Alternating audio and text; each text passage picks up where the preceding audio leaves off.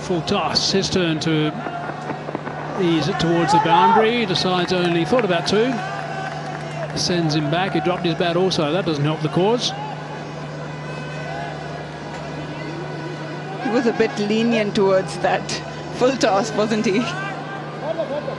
Just 11 to win now.